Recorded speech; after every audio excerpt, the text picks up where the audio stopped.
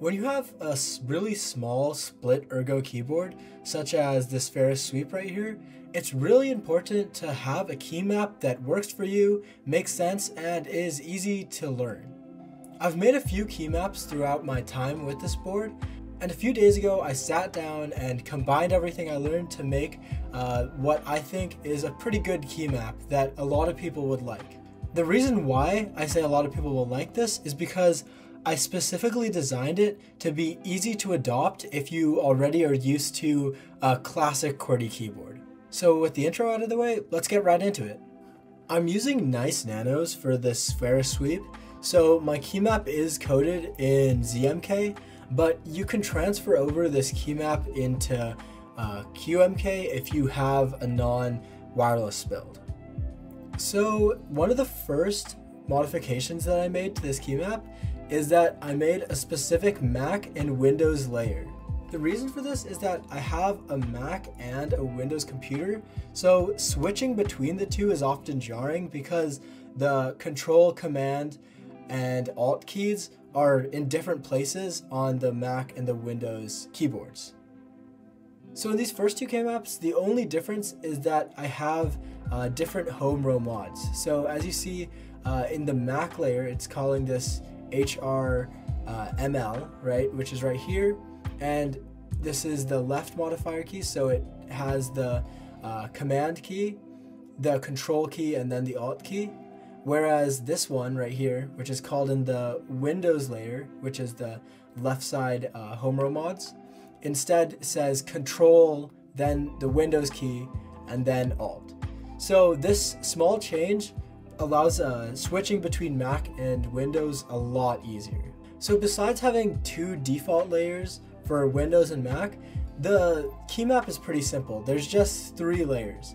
There's the default one, which is either Windows or Mac, and then there's the right layer, which will be activated by pressing and holding this key right here. And then there's a left layer, which is triggered by pressing and holding this key right here. And then there's a tri-layer, which is triggered by pressing the two keys at the same time. So if you press that, then you go to the tri-layer. For all the alpha keys, they're put in the same places as they would in a typical QWERTY keyboard. Comma and period are also in the same place. To the right of that, we have enter, which is just this key right here. So uh, if I press here, enter, I can press enter. And then if I want to press backspace, uh, it's just this key right here. So if I type some stuff and then I want to press backspace, I can just press backspace there. I really like this positioning of the backspace key because it's on the home row, and since you press backspace a lot, uh, it's pretty convenient to have it in such a close location. And also on traditional QWERTY keyboards, we're used to typing backspace with our pinky, so having that right here on uh, the same finger makes the transition pretty easy. Next, for the home row mods, if you press and hold down with the pointer finger, you trigger the command key, or if you're on the Windows keyboard, uh, that's the control key. Uh, and if you do the middle finger and hold that down, that triggers the control key on Mac keyboards and the Windows key on Windows keyboards. And if you press and hold the ring finger on the home row, that triggers the Alt key for both Windows and Mac. Now for the four thumb keys, they're the same for Windows and Mac layers. Again, as I said before, if you press and hold this key, that goes to the left layer, and if you press and hold this key, it goes to the right layer. But also, if you just tap it, it presses the tab key. And I have it set for both of the thumb keys, but uh, if you have another key that you press as often, uh, such as exit or uh, delete, you can put that there for the tab functionality, but for now I just set them both as tab so that uh, you can experiment around with which key you want on the thumb key. So it's kind of just a placeholder uh, for now. For the outer thumb key on the left hand, this one right here, that presses the left shift key. I really love having the shift key on the thumb because unlike normal keyboards, for optimal ergonomic typing, uh, you can just hold down this and then type whatever you want. So uh, on traditional keyboards, if you would want the really optimal way of typing, you would have to switch between the fingers for each of the capital letters you want to press. So, for example, if you want to press capital I, uh, since I is on the right hand, you would have to uh, press the left shift key so that you won't have to contort your hand. And then, say if you wanted to uh, say capital A, right? you would have to do it on the right hand, right? You'd have to press shift on the right hand and then press A with the left hand. Uh, so that again, you won't have to contort your hand in any way. But since we have the shift on the thumb, it makes this a lot simpler and makes uh, typing capital letters uh, a lot more ergonomic, in my opinion. Next, for space, that's just this thumb key right here. Uh, you can switch around shift and uh, space depending on which key that you typically press space on. That should be it for the default layers. So now let's move on to the right layer. Okay, so for my uh, right layer, I have at the very top just all the numbers uh, 1 through 9 and then 0, just like a normal QWERTY keyboard. You can rearrange these numbers if uh, you want a possibly more efficient way of uh, typing numbers because I know that some numbers are pressed more than others, but just for the transition from a QWERTY keyboard to a split ergo one, I love having it just like this. On the next row, I have delete, caps lock, uh, print screen, and insert on the right hand. And then on the right hand, I just have uh, left, down, up, right. If you're a Vim user, you'll probably recognize this left down up right uh, order, but as you see, I did shift it over one key because uh, I just wanted it on home row because that felt a lot more natural to me than um, shifting my hand over here. If you're extremely used to Vim though, you may just want to shift it over. Then, as you can see uh, right below that, I followed the same order of uh, going to the left, going down, going up, and then going right. But instead, I said home, uh, page down, page up, and end. Finally, the last thing about the right layer is that the exit key is right here. So uh, how you get to that is you just press uh, this key right here and then right here, and then you press exit. Having these on the thumbs makes the exit key really easy to reach. This is actually something I pulled from the stock ZMK key map for the Ferris sweep. Now let's move on to the left layer. So again, trying to stay true to a typical QWERTY keyboard, I laid all these symbol characters that are typically laid on the uh, shifted number keys. I laid that on the same positions as the right layer's number keys. I did that for everything except for the right, the left and right parentheses. The reason for that is that I wanted to relocate that to a more sensible location. Instead, I decided to put uh, the grave and the tilde right there because that's usually right to the left of the uh, one key.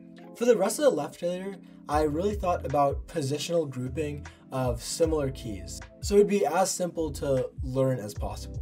So as you can see, this key and this key uh, on the left layer are just the the double quote, and the single quote. So for the next group, I have all of the brackets. So on this top one, I have all of the left one, the left brackets, the uh, square bracket, the curly bracket, and uh, the left parentheses. And then I have below it just the right variants of each. On the right hand of the left layer, I have the next group, which is just the forward and backslashes, which, uh, similar to the quotes, are just stacked on top of each other. This next group you may recognize as the minus and equal sign on a typical QWERTY keyboard because uh, the shifted variance of it is just underscore and plus, which I put under it. This way, when you're learning the key map, you can just uh, glance at a typical QWERTY keyboard and see the order of all four of these keys in this group. Next, I have uh, colon and semicolon on uh, this middle layer on the pinky and ring finger. This is a nice positioning because again, it's in the same location as you would usually have it on a typical QWERTY keyboard and you would press it with your pinky on this exact key. So uh, I just put that in a separate layer because I feel like we press delete more than we press semicolon. And then I put colon right to the side of that because colon is just the shifted version of semicolon. Right below that, we have question mark. And again, it's in the same position as it would be in a typical QWERTY keyboard, except for it's just on the left layer. And then we have pipe right to the left of it. So what I try to maintain in these right and left layers is that the right layer is really mostly a navigational layer, whereas the left layer is more of just a symbol layer. This makes it super easy when learning it because you can kind of just intuitively think which keys will be on the left layer if they're a symbol key and the right layer are just all of the navigational keys. This way you'll be mostly holding down the uh, left key when you're typing something and the right key when you're trying to just navigate around. Okay, now finally let's move on to the tri layer. Okay, now on the tri layer, we have F1 through F12 in a 4x3 grid. For the rest of the left side, we have uh, Bluetooth profiles. So in my previous key maps, I used to have uh, Bluetooth next and previous rather than just having 1 through 5. And I found this a lot harder because, especially with no display or any readout of what profile you're on, it gets kind of confusing to find out which profile you're on. Instead, if you have all of the profiles laid out 0 through 5, uh, it gets super easy to switch, and it's not a guessing game to find out uh, which profile you're in. So I have uh, 0, 1, and then clear here, which just clears a profile so uh, you can connect another device to it and then two, three, four. I also have toggle out, which just toggles between a Bluetooth connection and a wired connection. Next, below this toggle out, I have increasing and decreasing the display brightness.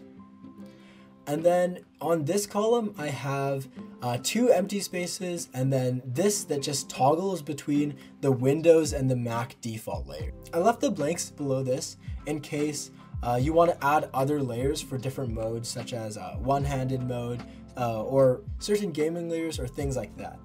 I find having a dedicated key to switch between layers is a lot nicer than having a certain key combo for it, because you can hot swap between layers extremely fast using it. On the column beside that, I have volume mute up and down, and then on the one to the right of that, I have next song, pause music, and previous song. So that's the entire key map.